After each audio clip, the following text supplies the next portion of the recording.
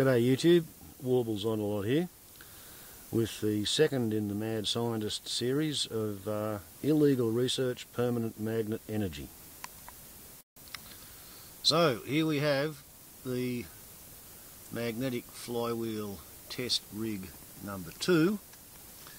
And as you can see I've changed the angle of the dangle of the magnets on the circumference by 45 degrees they're still on a level with the table so I can still approach from any angle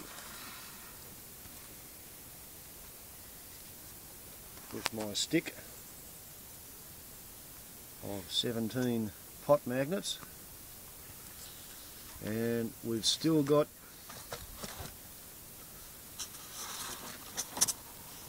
the bearing afforded by the 38 watt 240 volt electric motor which is still attached to nothing.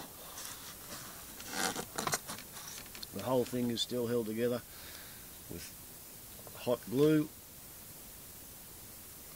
and I've chosen this particular setup because it's got a really good bearing and it's well balanced and any balance inequality that I have introduced is completely overridden by the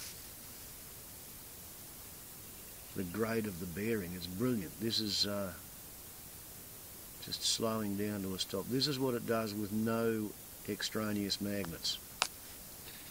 Okay, here we have the same stack of pot magnets that we used yesterday and as you can see if I'm prepared to move the magnets then we've got motion. We've got a magnetic induction gearbox. But put the magnets in there and you get cogging and uh, really doesn't matter.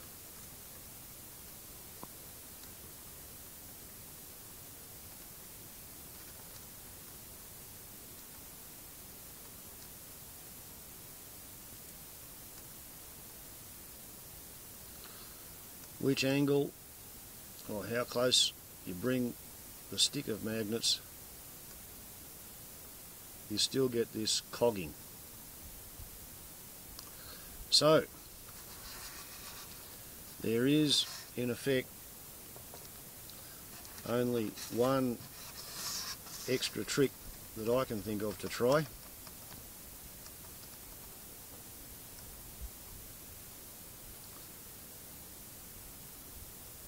And that will be to break up the single stick into five stacks of three.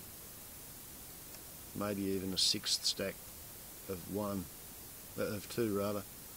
But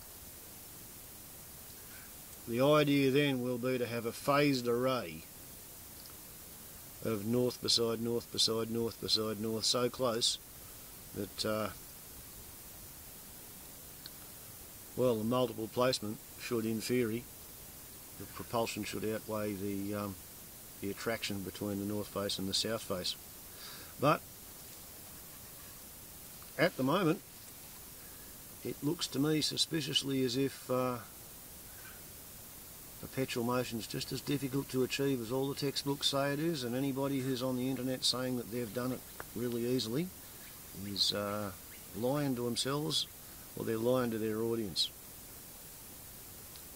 But, you know, let's see what happens in part three of the illegal research into permanent magnet energy. Warbles on a lot to YouTube. Watch carefully this space. More to come. Ciao.